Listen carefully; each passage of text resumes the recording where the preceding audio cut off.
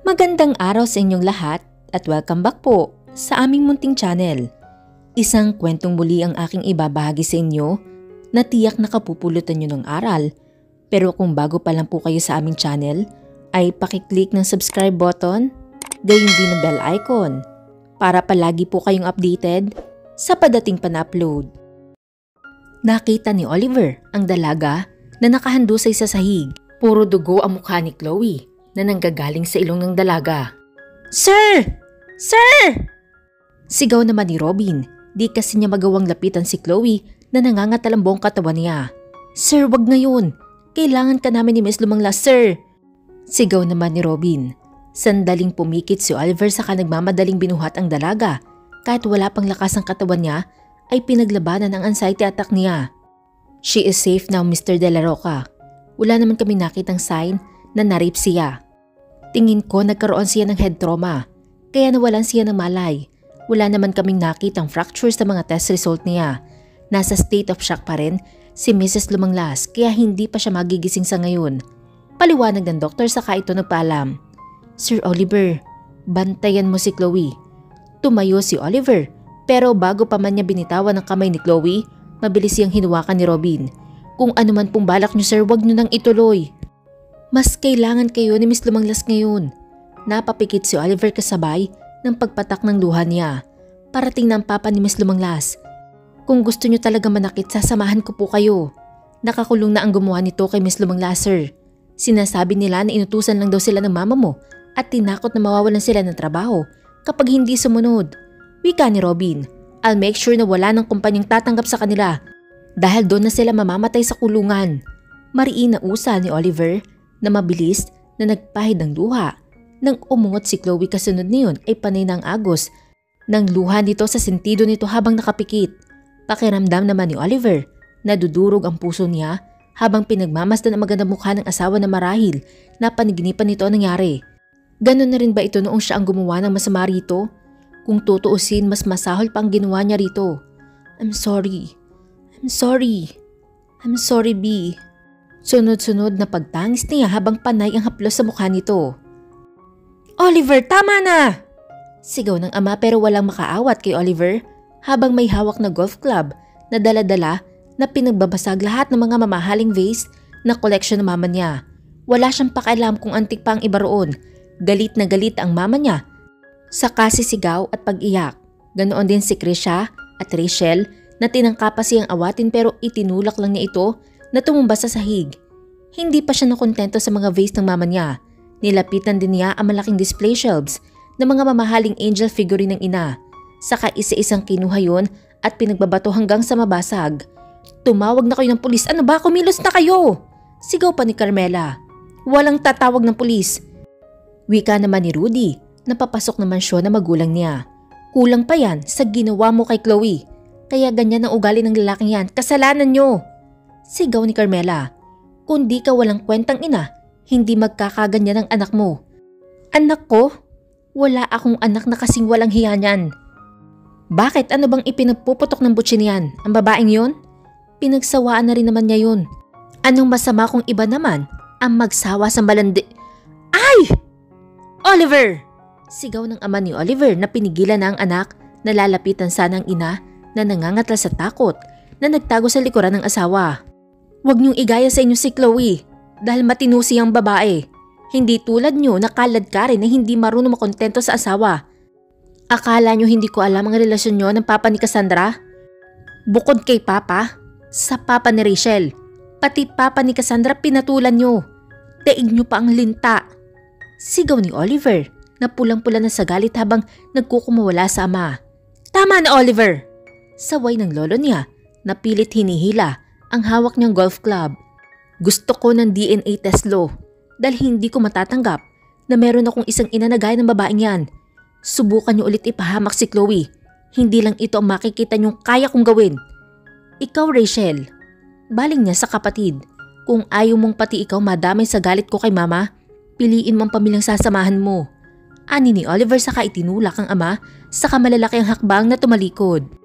Napakawalang hiya talaga. Mariin pang usal ni Carmela. Bakit Carmela? Tama naman lahat ng sinabi ng anak ko. Wika naman ni Jeffrey. oras na ituloy ni Oliver ang DNA test niyong dalawa, tapos ng pagiging nanay mo sa anak ko, Carmela. Kung naging mabuti ka lang sanang ina, hindi na tayo aabot sa ganito.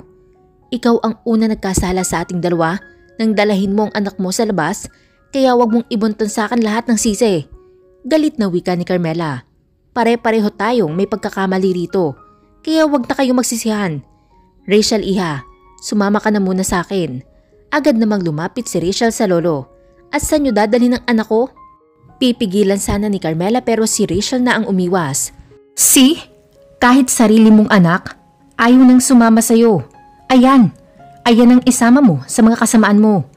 Turo ni Rudy kay Krisha na umiiyak lang sa may likuran.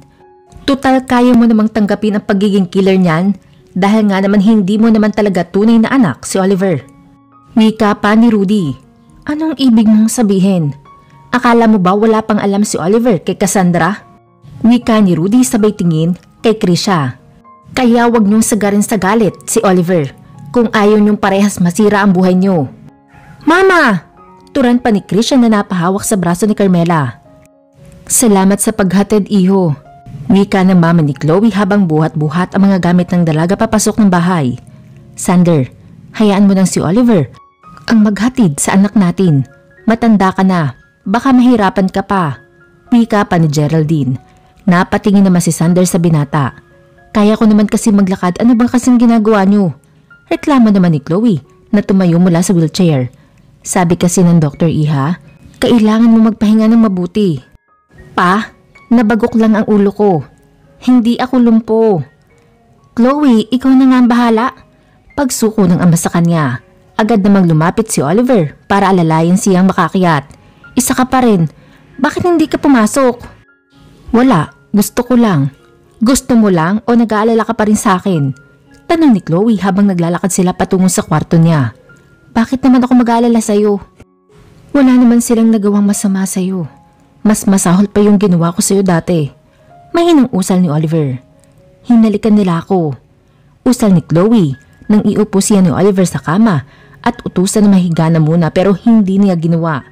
Naupo lang siyang sumanda sa headboard ng single bed niyang kama. Nadidiri ako sa sarili ko. Chloe. Pagak na tumawa si Chloe sabay buntong hininga.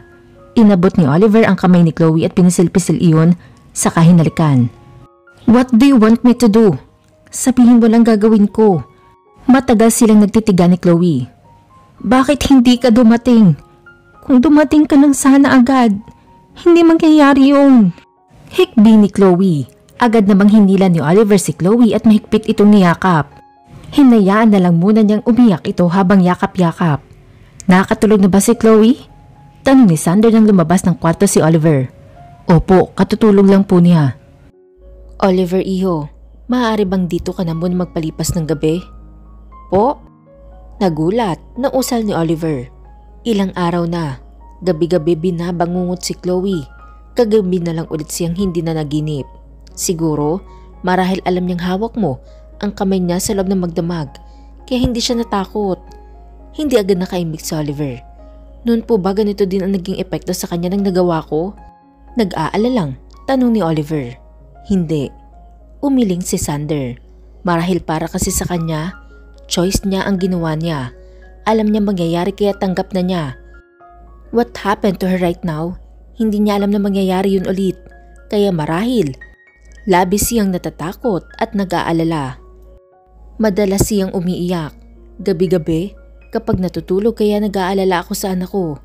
Siguro naman obligasyon mo na alalahanin ang anak ko.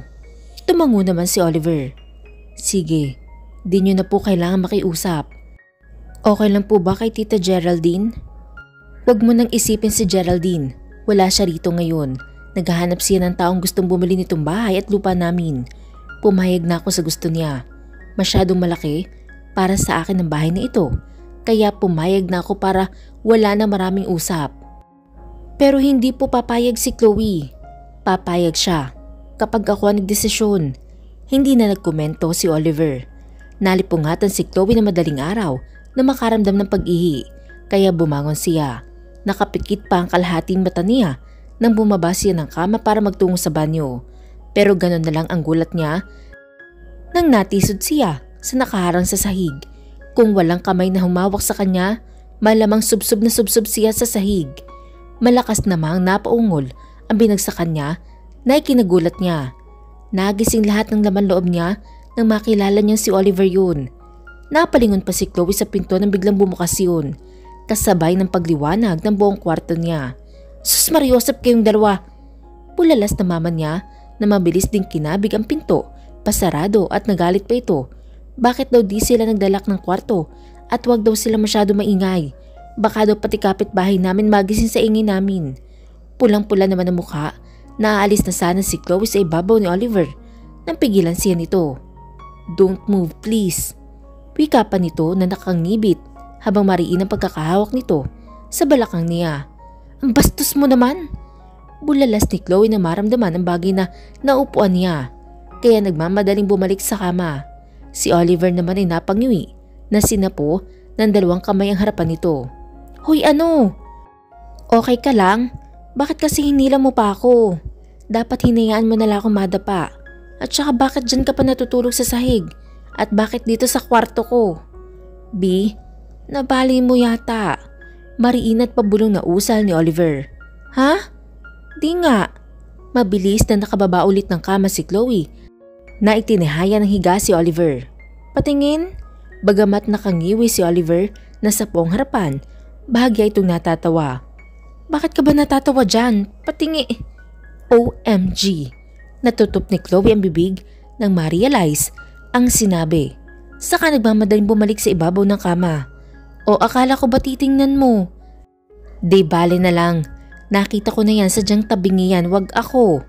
Natawa naman si Oliver sa sinagot ni Chloe. Tumigil ka nga dyan sa katatawa mo. Mapapagalitan na naman tayo. Saway niya rito. Bakit ba kasi gising yan? Anong oras na oh? Inabot pa ni Chloe ang maliit na alarm clock sa gilid ng kama niya. 4am na pala na madaling araw. Ang haba na pala ng oras niyang tulog. Umaga na kasi. Normal lang to. Saka nasa malapit lang kasi ang bahay niya. Ano? Paangil na wika ni Chloe. Nagad na nagets ang sinabi ni Oliver. Baka gusto mong hindi na yan magising. Tabi nga, iihi ako. Harang-harang ka dyan. Ani ni Chloe sa kanilakdawan na ito at nagtungo sa banyo. Ilang minuto din siya nagtagal sa banyo bago lumabas. Marahil pinatay ni Oliver ang ilaw, maga pa naman kaya marahil matutulog pa ito. Pero wala na ito sa sahig. Nasa kama na ito nakahiga. Hoy, anong ginagawa mo dyan? Ang sakit na ng katawan ko dyan sa baba. Dito na lang ako. Ikaw na lang dyan sa sahig. Aba, ang kapal talaga ng mukha mo. Kalalabas ko lang ng ospital, Mr. De La Roca. Okay ka naman, kaya dyan ka na lang. Aba, bahala ka na sa buhay mo. Kama mo to, kaya dito ako mahihiga. Gamit ang paa, itinulak ni Chloe ang katawan ni Oliver padikit sa pader, saka siya nahiga ng patalikod dito. Saka umilalim sa kumot niya. Pwedeng payakap? Narinig niyang tanong ni Oliver. Sa likuran niya. Maliit lang ang espasyo ng kama niya kaya halos magkadikit na lang din sila ni Oliver. Ayoko. Tigilan mo ko. Magginaw eh. Patayin mong electric fan. Arte mo. Naka-aircon ang kwarto mo ah. Yakap lang naman. Ni katiting wala akong tiwala sa'yo kaya magtigil ka. Wala naman kasi akong gagawin sa'yo. Yakap lang talaga and besides, I'm not sexually active kaya oras na gamitin ko to, natatakot ako. Kumunot naman ang noon niya na lumingon rito. Ikaw? Wala? Wedi nga. At saka anong nakakatakot na gamitin mo yan? Sa tagal ko ngang wala. Baka bata na ang lumabas sa dulo. Ngisi ni Oliver na unti-unting tinawanan ni Chloe ang biro ng abnormal niyang amo. Ano, pwede na ba akong makayakap? Kiit nito. Sige na nga. Muling tumagilid ang higa si Chloe. Mabilis pa sa alas 4 na pumulupot ang kamay ni Oliver sa tiyan niya at kinabig siya ng husto padikit sa katawan nito na parang scooping posisyon. Napanunok si Chloe na maramdaman iyon sa likod niya. Pakiramdam niya, siya ang di mapakali habang si Oliver ay tumapad sa sinabi nito na yakap lang. Pinilit niya makatulog ulit pero mukhang malabo na. Napabuga ng hangin si Chloe nang maramdaman niya mukhang nakatulog na ang abnormal niyang amo. Hindi pwede. Ang unfair noon kaya agad siyang umikot para gisingin ito. Nakakapamura talaga ang gwapo nito kahit madilim. Itinulis niya ang nguso at sinimula na hipa na mukha nito. Sa una, ngibit-ngibit lang si Oliver kaya tatawa-tawa na lang siya. Maya-maya pa, nagdilat ito ng mata. Hindi ka pwedeng matulog. Hindi na ako inaantok. Sambit ni Chloe. Bakit pati ako idinadamay mo? Maktol ni Oliver. Hindi ako sanay na may katabing matulog sa kama. Pwes ngayon, magsanay ka na. Dahil balak ko nang matulog lagi sa tabi mo. At feeling mo naman papayag ako? Wala ka na din namang choice, kaya let's go back to sleep maaga pa naman. Anito, napipikit na sana ulit ang hipan na naman niya. Chloe, di na nga ako inaantok, gumising ka na at umuwi ka na. Humanda ka talaga sa akin kapag okay na lahat, di na talaga kita patutulugin. Natawa naman si Chloe. Umuwi ka na sa inyo, di ba? Meron ka namang asawang uuwian? Yun dapat ang inuuwian mo. Ang asawa mo. Kaya nga nandito ako ngayon, di ba? One more word with you, hahalikan na talaga kita. Hindi ako nagbibiro, B. Eh kasi na, hmm? Napapikit si Chloe. Nang tawirin na nga ni Oliver ang pag-ita ng mga labi nila. Nang una nakalapat lang iyon, pero nang gumalaw ang labi ni Oliver, wala sa loob na naibuka ni Chloe ang bibig niya kaya namalayan na lang niya mainit na sila naghahalikan. Huminto sa paghalik sa kanya si Oliver. Ang pungay ng mga mata ni Oliver, kitang-kita ang labis nitong pangangailangan. Napalunok siya, nakatingin rito at nagdadalawang isip siya. Gusto ng katawan niya ang gusto ni Oliver. Pero natatakot siya. I won't hurt you again. Let me just kiss and touch you please. Yun lang muna sa ngayon please, Chloe. Bulong nito gusto niyang sumagot ng ayoko pero nang muling lumapat ang labi ni Oliver, lumipad na ng tuluyan ang pagpoprotesta niya. Ibang-ibang Oliver na ito sa Oliver na una niyang pinagsukuan ng pagkababae niya. Ramdam na ramdam niyang pag-iingat nito sa bawat paglapat ng labi nito. Let's sleep? Next time, mas mapapagod ka na. Rehearsal pa lang ang ginawa natin. Bulong nito, sabay halik sa noon niya. Napapikit na lang talaga siya. Iwas na iwas si Chloe na napatingin kay Oliver na katulong ng papa niya sa paghahanda ng mesa. Tanghali na siyang nagising. Kung hindi pa siya ginising ng mama niya dahil lunch na daw, di pa siya magigising. Buong akala niya umuwi na si Oliver pero nagulat siya na makitang may suot na apron ito at ang papa niya habang magkatulong palang nagluluto ang dalawa na putserong pata. Sarap ng tulog mo ah. Sana all. Puling ni Oliver na may ngisi sa labi. Napangiwi naman siya sa lingon dito na masama ang tingin. Mabilis naman siyang hinalikan nito sa sentido. Saka naupo sa tabi niya at nilagyan pa siya ng pagkain sa plato. Wow ha? Close tayo? Tanong niya dito. Gaano ba ka-close ang gusto mo? Maliban sa kanina, mada... Mabilis na natampal ni Chloe ang bibig ni Oliver na kinagalit naman ng papa niya na saktong lingon sa kanila. May langaw pa. Nilalangaw ang mouth niya pa. Katwira ni Chloe. Bakit naman lalangawin ang bibig ni Oliver? Galit pa rin wika ng ama. Hindi naman mabaho ang nilapatan nito kanina.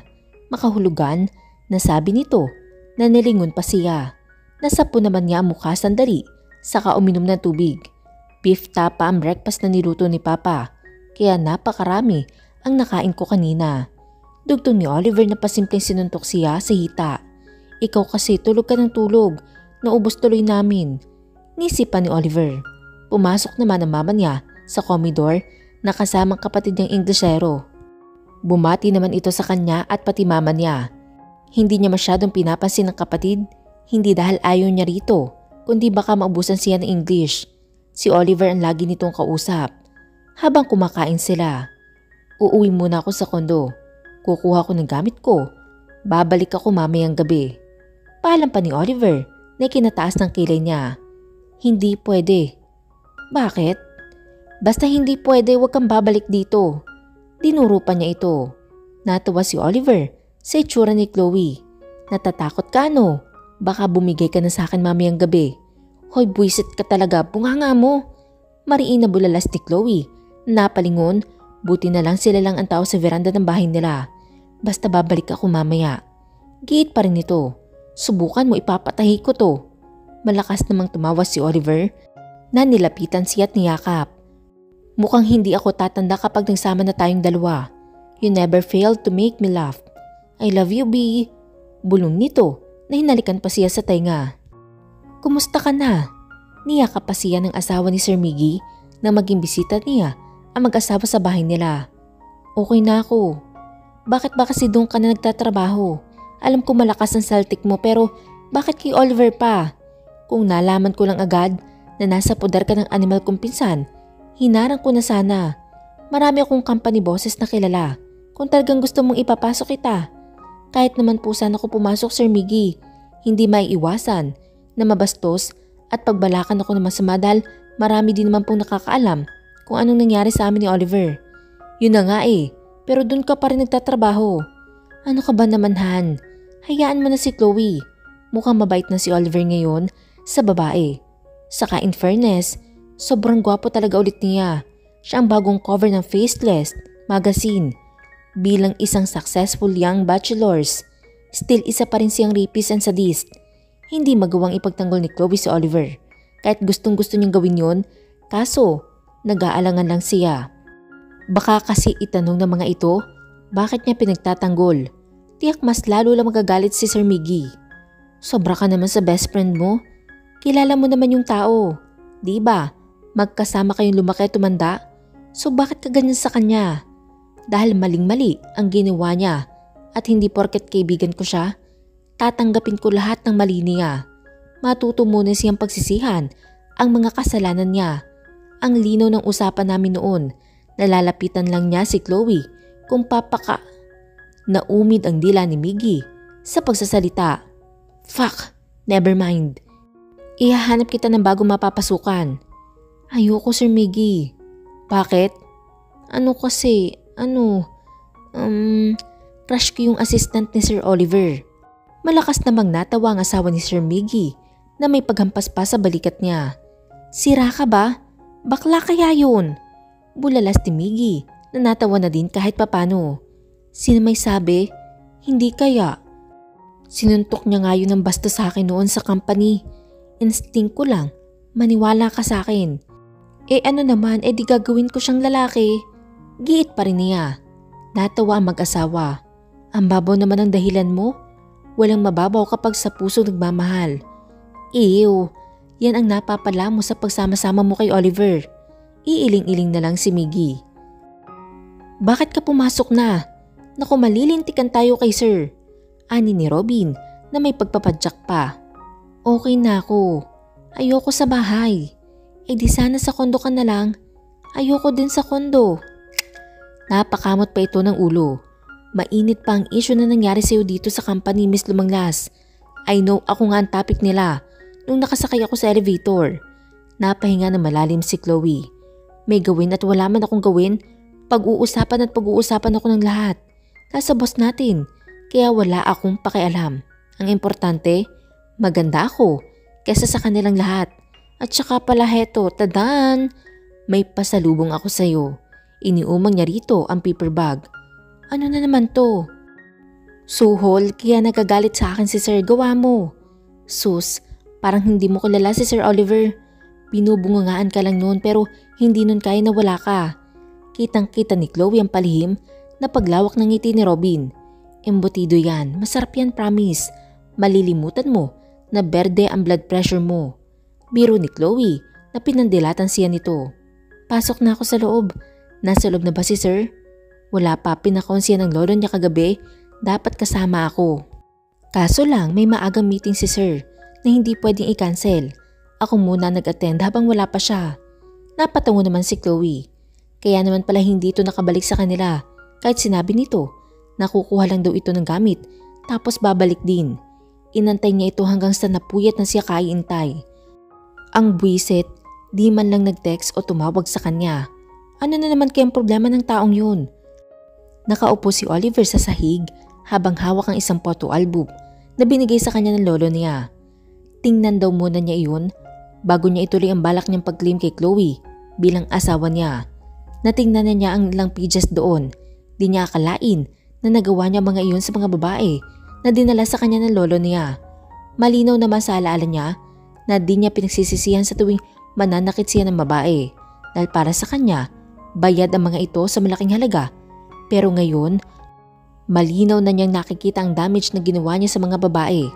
Huminto lang siya sa pagbuklat na ma-realize na tiyak niyang nasa huling page ang larawan ni Chloe. Mariin siyang napapikit na inalala paano niya ito napagbuhatan ng kamay. Agad niyang inabot ang gamot na nasa ibabaw ng kama saka ininom. Ibinigay rin iyon sa kanya ng lolo niya dahil alam nitong aatakin siya oras na makita niya. Nagtatalo ang isip niya kung titingnan pa ba niya o hindi. Hindi gusto ng lolo niya na ipagpatuloy niyang ginagawa niya. Gusto nito na iwan nga si Chloe at pirmahan niya ang annulment paper na pinagawa nito dahil after all, madali daw ipavoid ang kasal nila. After ng mga ginawa niya kay Chloe, wag na daw niyang dagdagan ang paghihirap ni Chloe. Sooner and later, mag-undergo daw ulit si Chloe ng operation at walang katiyakan. Meron pang krisya na posibleng manggulo sa kanila at ganoon din ang mama niya. Si Chloe lang daw ang mahihirapan sa huli. Unti-unti muling binuksan ni Oliver ang photo album. Habang papalapit siya ng papalapit sa papadulong page, pabilis ng pabilis ang tibok ng puso niya. Natuptop niya ang bibig niya at nagunahan sa pagpatak ang mga luha niya na makita ang larawan ni Chloe. Saglit niyang tinitigan iyon pero sa huli, muli niyang isinarado sa kaibinato. Si Chloe ang may pinakamalalang itsura sa lahat ng babae. Naalala niya kung paano niya paulit-ulit na sinaktan si Chloe gamit ang stick at mga kamao niya. Oliver! Galit na napalingon si Oliver. Sa lolo niya, nagad niyang sinugod. Gusto niya itong suntukin pero nakaangat lang yun sa ere. Hindi niya magawa. Kaya itinulak na lang niya ito saka malakas na sumigaw ng paulit-ulit. Muli po, sabay-sabay po nating abangan ang susunod na kabanata. Maraming salamat po.